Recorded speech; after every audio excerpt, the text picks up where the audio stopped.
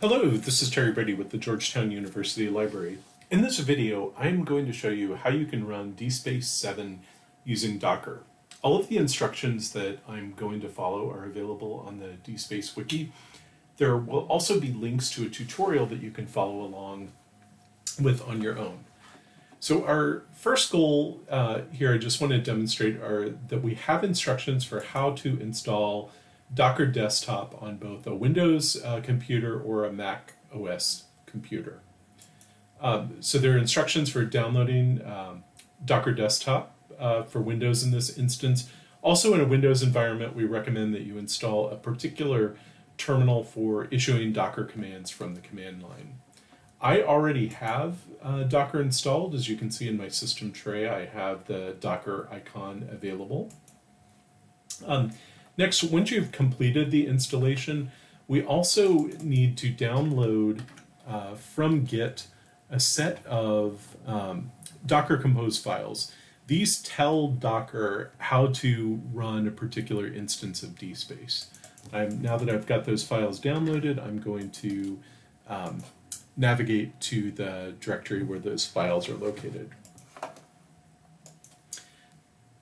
In our next step, I'm uh, going to do a quick verification that we have the software that we need installed.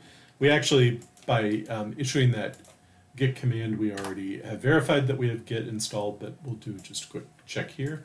I also want to verify that Docker is installed.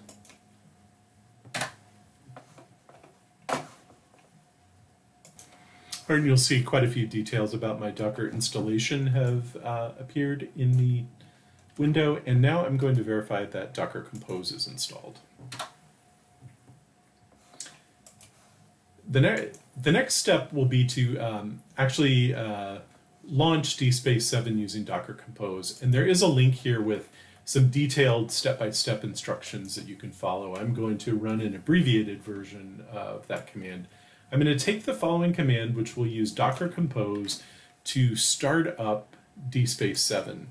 In the process of starting up DSpace 7, it will also load uh, the entities dataset that the DSpace 7 team uh, built as a part of the DSpace 7 preview release.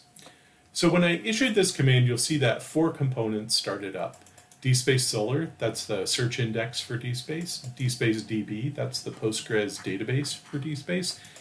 The DSpace um, container itself is the web server or Tomcat instance, and DSpace Angular is the new um, Angular uh, front end for DSpace. So now that I have um, started up the system, I'm going to run a command docker ps, and what docker ps will do is show me what's running on my machine within Docker.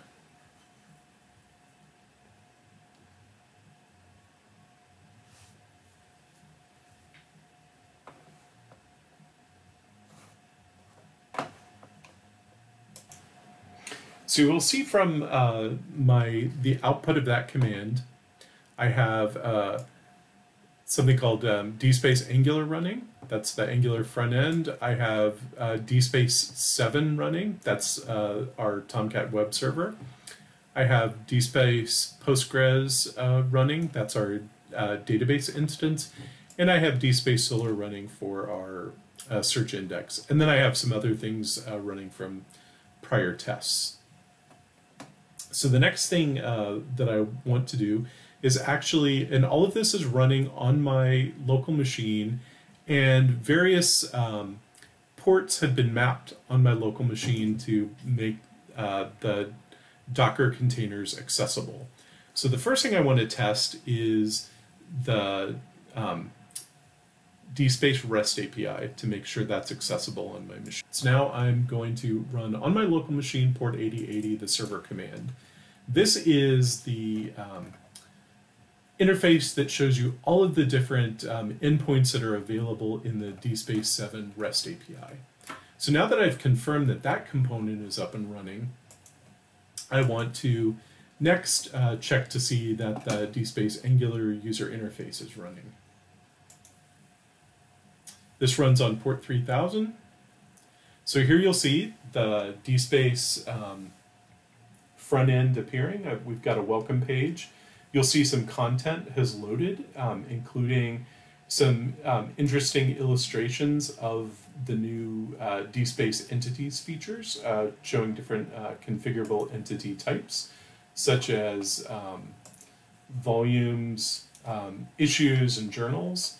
And I think this content is still uh, being indexed, so we do not yet um, have the ability to uh, browse to specific items.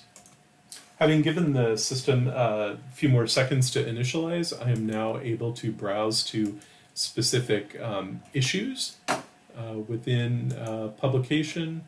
Um, I can also uh, navigate to different journal volumes and view specific items. So the last thing uh, that I will do is um, shut down my running instance of DSpace. So this uh, will will use pretty much the same command we use to start up the system, except in this instance we'll um, issue the down command.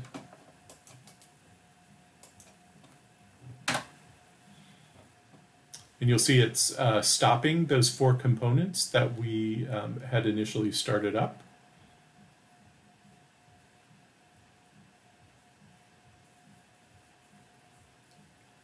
And uh, those components are will now be removed.